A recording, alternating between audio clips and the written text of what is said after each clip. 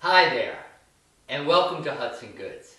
Today, Buddy and I want to show you one of our favorite chairs, the indoor-outdoor galvanized metal chair.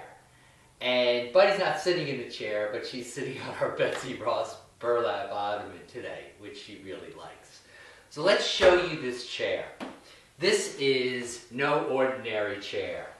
It looks great indoors, and the special thing about it is you can use them outdoors. Doesn't have to be in a covered area.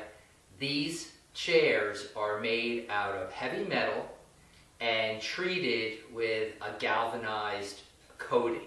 So they will not rust, and they will never rust.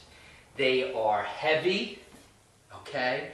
And they are strong. I'm going to show you. They can handle any weight, right, buddy? And they are welded together, okay? All of the pieces. There are no screws. This is industrial strong. It's a standard 18 inch height seat and it is comfortable. It's great for outdoor dining and they even look great inside.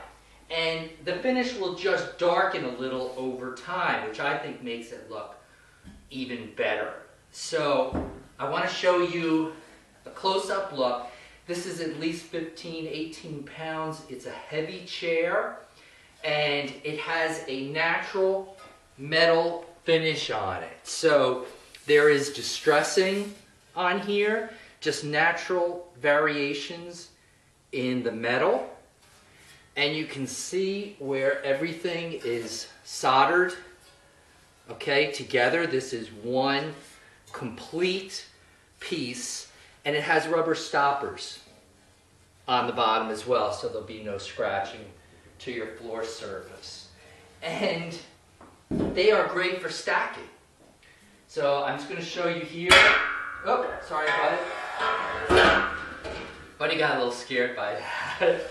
but they stack up great. So if you have an outdoor space and you want to put them away, just stack them up, put them in the closet. So again, these chairs are pretty much indestructible and they have a great vintage industrial style to them. And they are really strong. One of my favorites, particularly since you can just leave them outside and not worry about the weather and still get some great vintage style to your space. So that's our galvanized indoor-outdoor chair. Looks great inside and out. And thanks for watching. That's a wrap.